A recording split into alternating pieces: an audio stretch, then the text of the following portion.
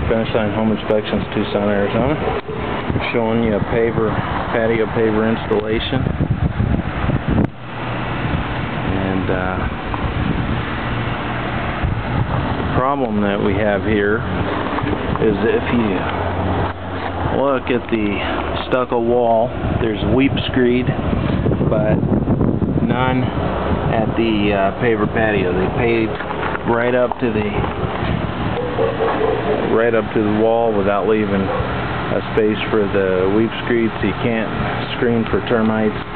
Uh, moisture cannot evaporate away and uh, just um, with the flat level surface water uh, has less of a challenge to enter into the structure so what should have been done is that uh, the uh, grade should have been adjusted, excavation uh, taken place so that the patio paver would sit in the right spot relative to the walls and the foundation of the house.